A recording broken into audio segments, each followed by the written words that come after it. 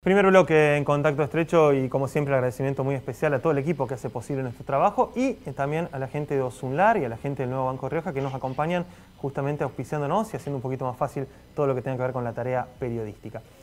No terminó la pandemia, está claro que, que, es así, pero al mismo tiempo hay un montón de situaciones que van volviendo, si se quiere, a algún tipo de normalidad a partir de las habilitaciones que los gobiernos, tanto nacional como provinciales, van determinando. Uno de los temas que más expectativa ha generado es lo que tiene que ver con el turismo. Y este fin de semana largo La Rioja se vio, eh, no, digo desbordada, sí, pero con una presencia muy significativa de turistas. Y para charlar un poco de eso estamos en contacto con Raúl Aparicio, el contador Aparicio, que es director del Instituto de Economía y Administración IDEA UNLAR. Raúl, ¿cómo le va? Muy buenas tardes, gracias por atendernos. Hola, ¿qué tal Matías? ¿Cómo te va? El gusto es mío de saludarlo eh, a vos y a tu audiencia. Eh, Arrancar preguntándole eso justamente, ¿no? ¿Cómo impactó este fin de semana en la provincia en términos de turismo? Bien, realmente eh, fue un fin de semana bastante bueno para la provincia, ya que según los números brindados por la Secretaría de Turismo de la provincia, destacaron una ocupación hotelera del 100% acá en Capital y en el interior también, fundamentalmente en Chilecito, en Arauco, en Zambra de los Sauces y Chamical, mientras que en otras localidades como Villonión y Famatina eh, superaron el 90%, con lo cual el total de plazas registradas en toda la provincia eh, superan las eh, 3.000 las 3.000 eh, localidades, así que fue un muy buen fin de semana para La Rioja, que en total, en los cuatro días que duró el fin de semana, extra largo, ingresaron a la provincia alrededor de 10.000 eh, personas, dejando eh, una suma alrededor de 120 millones de pesos eh, para la economía local, fundamentalmente en hotelería, gastronomía, comercio, estaciones de servicio, guía de turismo, etcétera, todo lo que hace a la, al movimiento turístico que, como vos bien decía, se está reactivando y fuertemente. Esta propuesta del previaje que hace el gobierno nacional, ¿está teniendo impacto por lo que ustedes pueden analizar? Exactamente, así es. Eh, resulta de que a, para, prácticamente a dos meses de entrada en vigencia de esta segunda ya edición del programa Previaje, el gobierno anunció, el gobierno nacional anunció que ya son más de un millón de personas los que sumaron un beneficio, ya que reintegra el 50% de los gastos de hoteles, restaurantes, alquiler de autos, etcétera, distintas excursiones en los distintos lugares.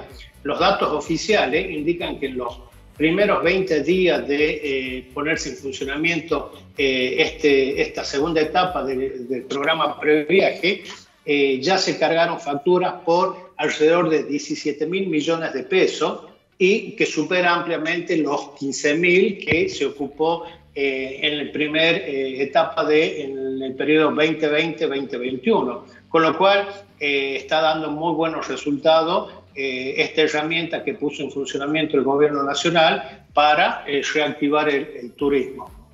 Raúl, ¿podemos hablar de que el turismo hoy ya está en niveles prepandémicos? Es decir, ¿hoy el turismo ya está alcanzando los, la cantidad de visitantes que tenía antes de la pandemia?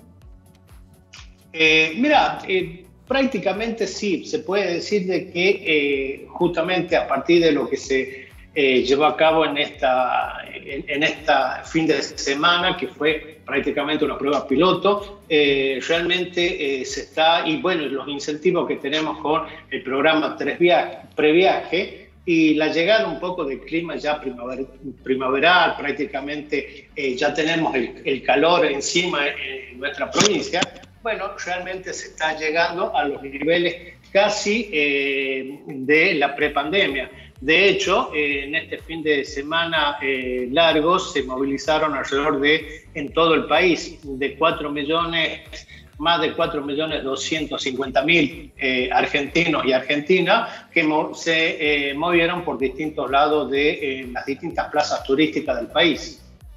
Raúl, y en lo que tiene que ver con las ventajas y desventajas que La Rioja puede tener en esta nueva etapa que se viene o en esta etapa de turismo en pandemia, ¿qué analizan ustedes? ¿Cuáles son?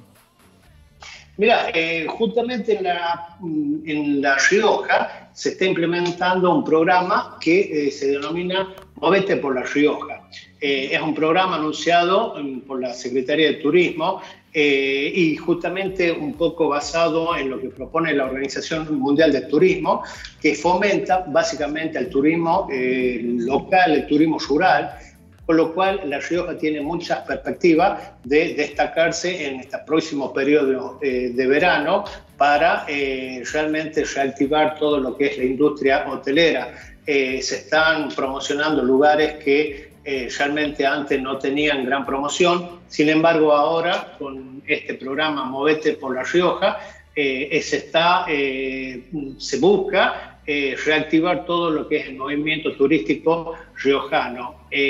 seguramente analizaron de que inclusive no solo personas de otras provincias, sino los mismos riojanos no conocen todos los, eh, los magníficos lugares turísticos que hay, entonces sacaron este programa, este programa Movete por La Rioja y eh, se está eh, con muy buenas perspectivas para en, esta, en esta temporada de verano. Raúl, lo último, agradeciéndole mucho el tiempo. Eh, la historia marca cuando la humanidad enfrenta determinadas crisis, pienso en la Segunda Guerra Mundial. Eh, a posteriori la economía tiene como una explosión de consumo, ¿no? Estos fenómenos donde la gente es como que tiene ganas de vivir, por decirlo de alguna manera, y sale a gastar mucho. ¿Imaginan que esto puede llegar a pasar?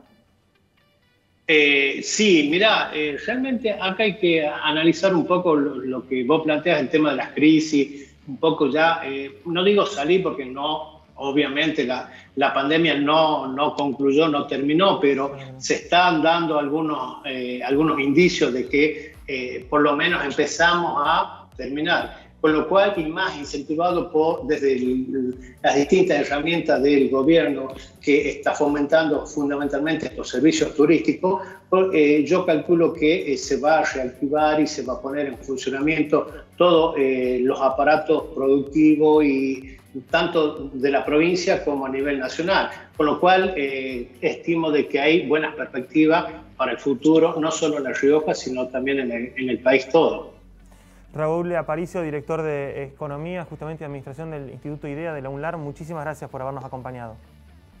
El gusto ha sido mío, ya sabe, a disposición cuando me necesite y muchas gracias a usted y a toda la audiencia. Un abrazo enorme. Ahí estábamos analizando lo que fue este fin de semana tan particular con todo lo que ha eh, ocurrido alrededor del turismo y lo que se viene en materia de consumo y de gastronomía.